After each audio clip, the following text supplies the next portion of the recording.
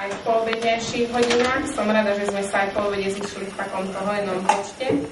Mindenkit üdvözlök délutáni órákban is, és örülök, hogy ennyien összejöttünk délután is.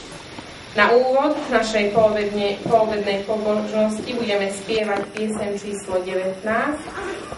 Kezdésre énekelni fogjuk a 92-es számú éneket. Szlovenskom piesem číslo 19, Magyarban 92.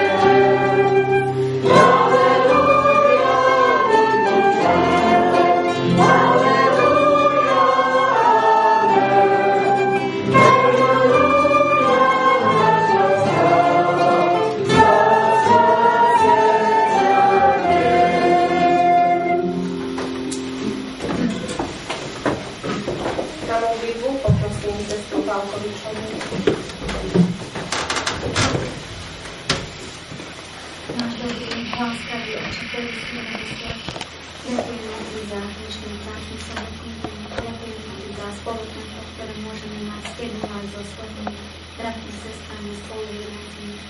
Ďakujeme si za tieto piesne aj za hudbu, ktorou sa dostávame bližšie k Tebe, ktoré nám pomáhajú otvárať naše srdcia, ktoré chcú bovať pri Tvojom slovu. Prosíme Teba za Tvoju prítomnosť, prítomnosť Tvojho Ducha Svetého, aby všetko toto, čo odznie a čo budeme počuť, aby sa dotýkalo našich srdc a aby Смерти довольны, пробивают нас, наши мысли о наших сердцах. Дякуємо всім, хто з нами, а жаль, останніх наших. Амінь. Teraz poprosím, aby členovia no, Slovenského zboru nám poslúžili svojim hudobno-slovným programom. Most pedig kérem a Zólyom gyülekezet tagjait, hogy szolgáljanak nekünk a zene és ige műsorral. Takže ja sa vám chcela najskôr poďakovať, neviem, bratia a sestry, za to, že ste nás tu tak privítali, že sme mohli prísť. Cítime sa tu veľmi dobré a sme radi, že môžeme byť medzi vami. A tiež vám chcem poďakovať v mene nás všetkých za ten vytvorený obed, ktorý sme sa mohli posilniť, všetkým kuchárkam, kuchárom a všetkým, čo sa nám podielali. My sme sa teda prišli s hudobnoslovným programom, ako ste už počuli. Takže to znamená, že chceme Boha chváliť piesňami, hudbou, ale tiež aj básňami alebo nejakým hovoreným slovom. A niečo takéto podobné vyjadruje aj Žalm 150 a teraz by som ho chcela prečítať. Haleluja, chválte Boha v jeho svetini, chválte ho na jeho znišenej oblohe. Chválte ho pre jeho hrdinské skutky, chválte ho pre jeho nesmiernu veľkosť. Chválte ho zvukom trúby, chválte ho harfou a citarou. Chválte ho bubnom a tancom, chválte ho lírou a flautou. Chváľte ho ľubozvučnými cymbálmi, chváľte ho dúvými cymbálmi. Nech všetko, čo dýcha, chváli hospodina. Halleluja. Amen. Takže začneme uh, prvou piesňou, takže vám prajem požehnané a príjemné pometie.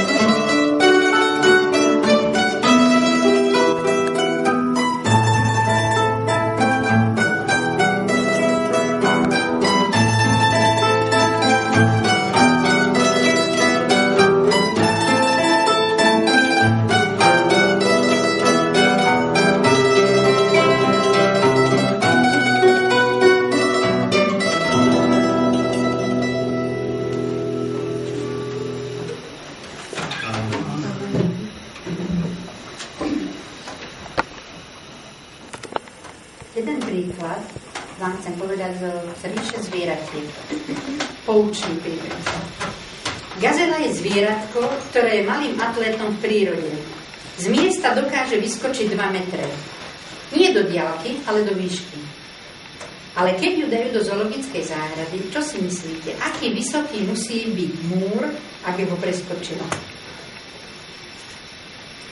Jeden meter vysoký. Viete prečo? Pretože ona má ešte jednu vlastnosť.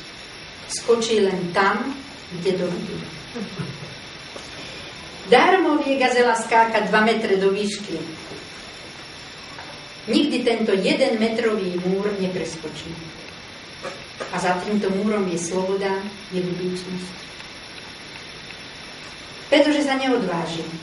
A preto je v celý život zajatý. Odvaha viery. Čo to znamená? Znamená to preskočiť múr. Mať vieru, mať víziu, mať budúcnosť a tam je sloboda. Veriť, že to, čo robí Pán Boh, je dobré. Niektorí ľudia ten svoj múr nikdy nepreskočia. Nedokážu uveriť, že za tým múrom je sloboda. Pre nás môže byť múrom všeličo. Predsudky, zvyky, vlastné sebectvo, starosti. To je ten múr, ktorý nedokážeme preskočiť. Pretože k tomu potrebujeme vieru. Aj my mnohokrát, ako tá gazela, nevidíme dopredu. A preto neskočíme. Neskočíme z otroctva na slobodu. Pavel Apoštol píše, a viera je podstatou toho, na čo sa človek nadeje. presvedčením o veciach, ktoré sa nevidia. Veríme tomu, čo nevidíme.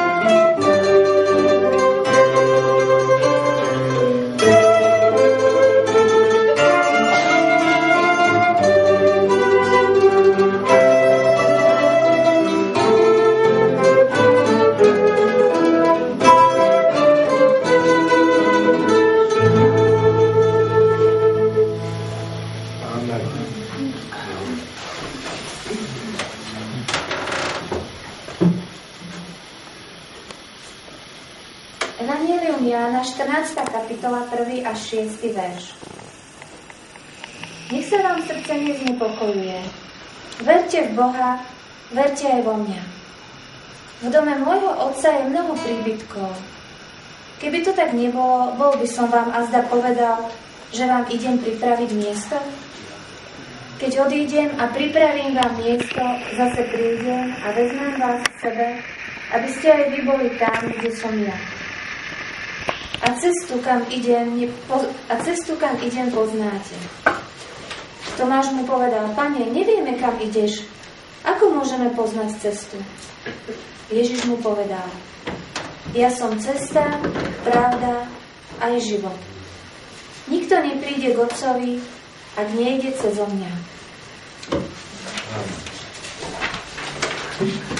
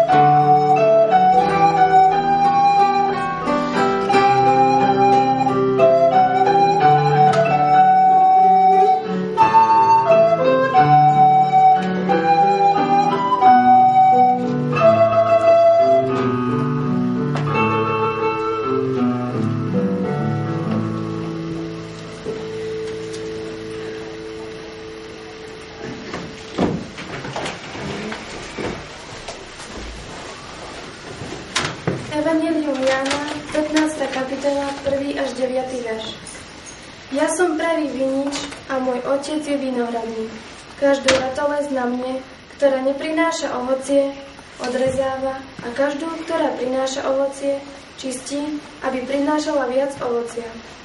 Vy ste už čistí pre slovo, ktoré som vám povedal. Zostaňte vo mne a ja vo vás. Podobne ako ratoles nemôže prinášať ovocie sama od seba, ak nezostane na viniči, tak ani vy, ak nezostanete vo mne. Ja som vinič a vy ratolesti. Kto zostáva vo mne a ja v ňom, prináša veľa ovocia, pretože bez mňa nemôže nič urobiť. Ak niekto nezostáva vo mne, vyhodia ho von ako ratolesť a uschne. Potom ich pozbierajú, hodia do ohňa a zhoria. Ak zostávate vo mne a ak aj moje, slovo zostáv, ak moje slova zostávajú vo vás, proste čo len chcete a stane sa vám. Môj otec je oslávený tým, že prinášate veľa ovocia a že sa stávate mojimi učeníkmi. Ako si mňa zamiloval otec, tak som si ja zamiloval vás. Zostaňte v mojej láske. Amen.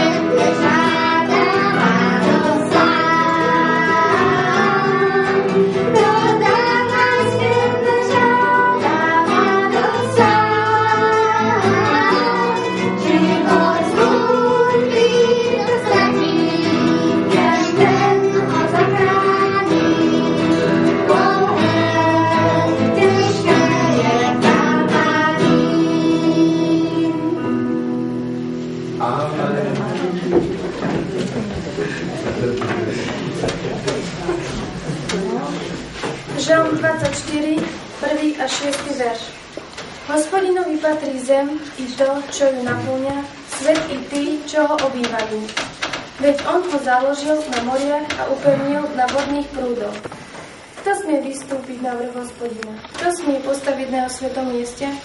Ten, kto má ruky nevinné a srdce čisté, ten, kto sa obracia k márnosti, ani falošne neprisahá.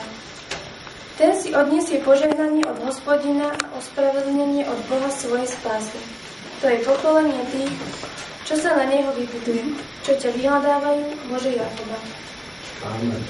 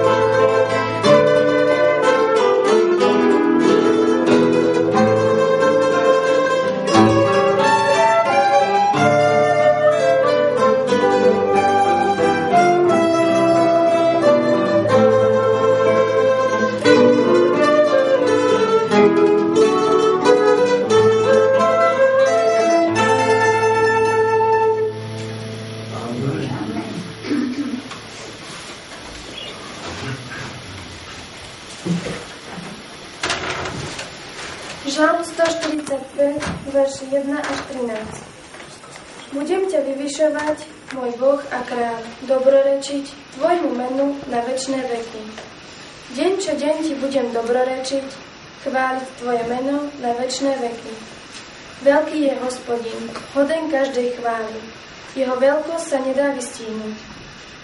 Pokolenie pokoleniu chváli Tvoje činy, hlása Tvoje hrdinské skutky. Úchvatnú slávu Tvoje veleby a Tvoje zázračné diela chcem ospevovať. Hovoriť budú o moci Tvojich úžasných skutkoch, ja chcem rozprávať o Tvojich veľkých činoch. Budú šíriť pamiatku Tvojej veľkej dobroty a plesať nad Tvojou spravodlivosťou. Hospodin je milostivý a milosrdný, zhovievavý a lásky plný. Hospodin je dobrotivý voči všetkým, zľutúva sa nad všetkými stvoreniami. Nech ťa chvália, hospodin, všetky tvoje skutky, nech ti dobrorečia tvoji verní.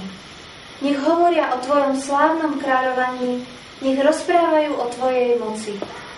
Aby sa ľudia dozvedeli o tvojich hrdinských skutkoch, a o slávnej nádhere Tvojho kráľovstva. Tvoje kráľovstvo pretrvá všetky veky, Tvoja vláda všetky pokolenia. Amen.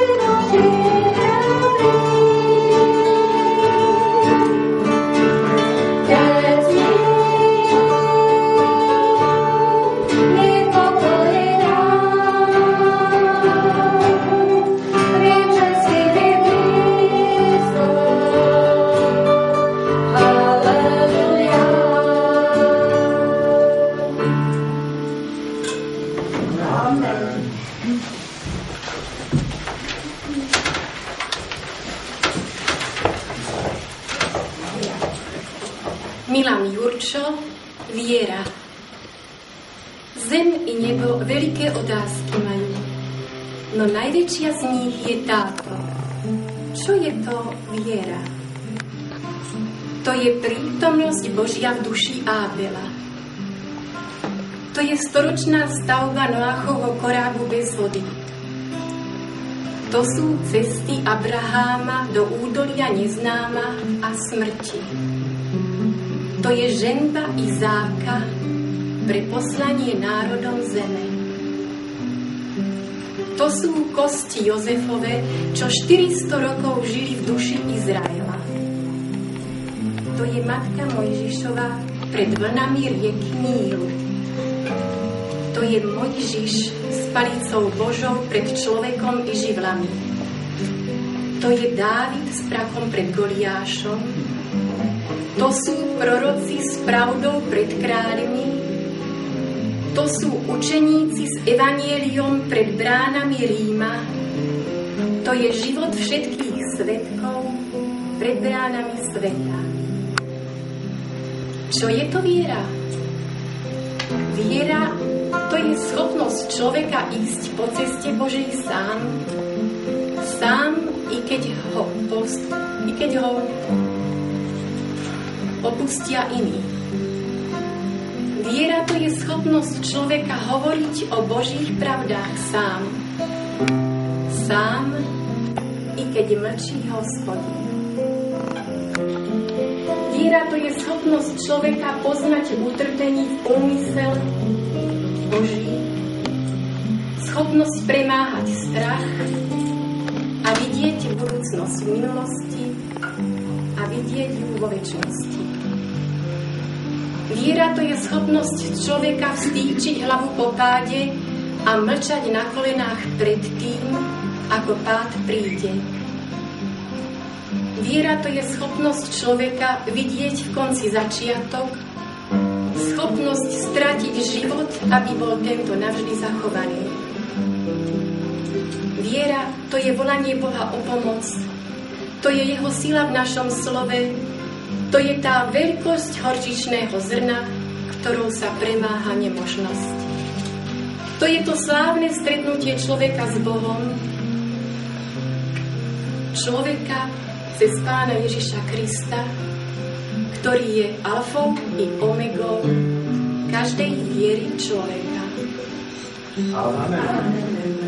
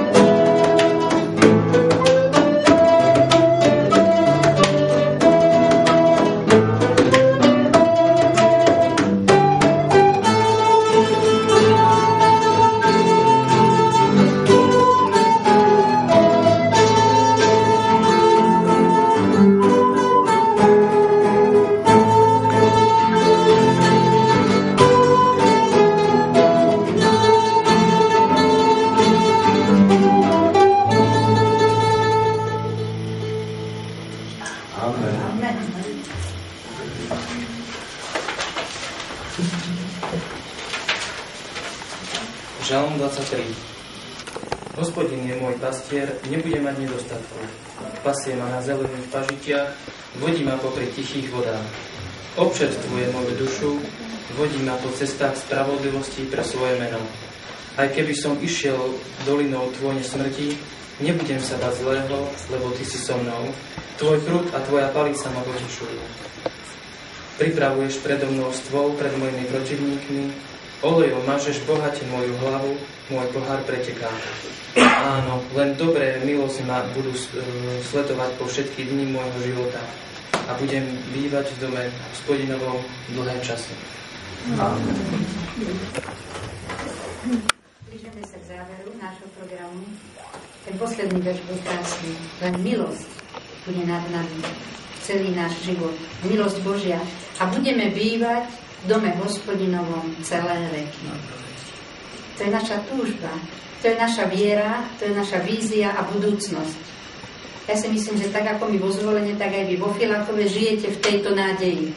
A to nás spája. Preto sme sa dnes stretli. Táto naša budúcnosť. Pretože toto súženie a tieto problémy pominú, všetko pominie. A čaká nás nová zem, krajšia zem, kde sa všetci stretneme s našimi milými. Ale to najdôležitejšie, že sa stretneme s Pánom Ježišom. A na to sa tešíme aj mladí, aj starí, aj naše deti, keď žijeme vo viere, tak ako sme si to povedali v tomto programe. Keď tomu veríme, že Pán Ježiš pre nás pripravil krajšiu budúcnosť. Ešte zahráme posledné hudobné číslo a potom si spolu všetci zaspievame tú krásnu pieseň Až zájde slnko.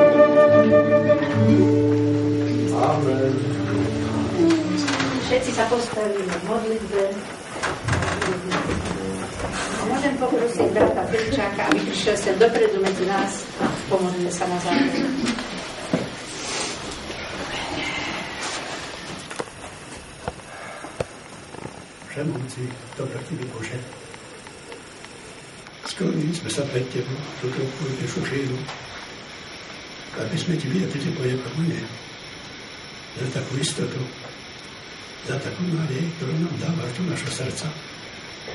Je to nádej, že Ty sa vrátiš. Vrátiš sa preto, aby si zobral svojich tých, ktorí túžobne očakávajú tvoj návrat. Prosíme ťa pokorne, aby sme všetci tam boli. Priprav nás, mladých, starých, detí. Daj, aby sme tejto nádej stále žili. Stále túto nádej mali. A túto nádej rozdielali tým, ktorí sú okolo nás. Aby aj iní ľudia, ktorí sú vo svete, túto nádej mohli mať. Prijať Teba za osobného spasiteľa a vykupiteľa. Ďakujeme Ti za tento program, ktoré nás tam duchovne povzbudil. Požehnaj týchto mladých a daj, Pane, aby i oni boli si vedomi toho, že majú veľkú zodpovednosť, že majú radosť toho, že ťa môžu poznať a že môžu byť tvojimi deťmi. Ja viem, že svet ich láka, že veľké je pokušenie na tejto zemi. Majú staré pokušenie starší ľudia, ale zvlášť majú mladí. Preto ťa prosíme pokorne, aby si ich zachoval, aby vedeli nad každým pokušením svetským zvíťaziť. Aby vždycky dali prednosť, Pane, Teba. Aby Teba mohli oslaviť. Aby nikdy nezabudli, že Ty máš pre nich krásnu väčnosť prichystanú. A to svet tento nemá. Prosíme ťa, sprevádza ich milosťou, aby boli na požehnanie všetkým, kdekoľvek sa budú nachádzať. Požehnaj aj nám starším a daj, aby sme vedeli vydržať, aby sme v nádej žili a v nádej zobierali aby keď Ty prídeš, aby sme spoločne mohli Teba uvítať. Za všetko Ti ďakujeme. Vypočuj nás a pripravuj nás na to stretnutie. Amen.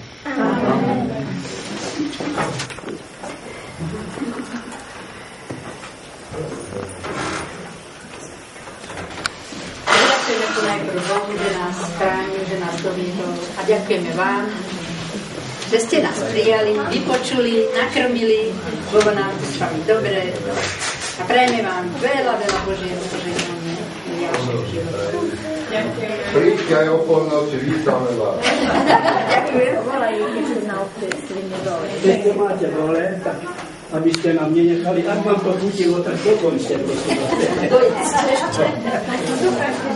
Ja som rád, že ste sa dobre cítili. Myslím, že no, tak to že my